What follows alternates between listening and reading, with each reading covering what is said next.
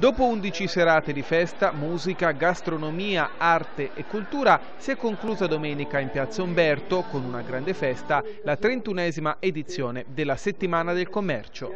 Sul palco i rappresentanti dei soggetti promotori, la vice sindaco Patricia Tolaini, Mario Moscardini e Fosco Bertoli di Confcommercio e Gianni Dini, presidente del comitato Compeama Castelnuovo.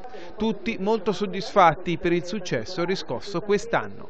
Ha toccato un po' tutti i temi, come dicevo prima, che a noi interessano. Culturalmente si è elevata, dovrei dire. Abbiamo avuto musica, arte, commedia, un eh, scrittore emergente, Nottoli, quindi ha presentato il suo libro, tanti talenti eh, veramente di musicisti, cantanti, eh, ballerini, insomma anche i nostri prodotti tipici sono stati eh, mostrati diciamo, con questo percorso della gastronomia al meglio. Le presenze sono state tante, tantissime, forse più degli anni passati, nonostante che la stagione non ci abbia aiutato, quindi significa che abbiamo lavorato bene, ci dobbiamo rimboccare le maniche, darci da fare per fare sempre meglio, con l'aiuto di tutti i commercianti, di tutte le attività che dovrebbero aderire in massa.